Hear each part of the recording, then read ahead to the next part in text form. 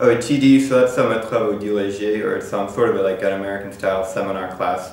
Um, and it's basically just like a sort of a um, context in which students can uh, like work with the teacher in a more like intimate setting. They can have discussions with the teacher. Um, I mean, I think it really varies depending on which TD you're in and the personality of the teacher as to what your experience is like. Um, but my experience has been that it's a more um, like kind of intimate setting to um, get to better know the works and to elaborate on um, themes discussed in the Cours School or the lectures. So they provide loads of support. Um, there's um, two tutoring systems here. There's the methodological tutors who um, sort of help you with the themes that you're talking about in class and to um, help you with the assignments, the eventual assignments that you'll be working on.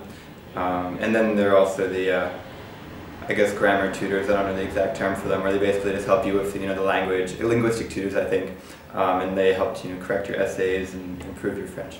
So Columbia provides loads of support.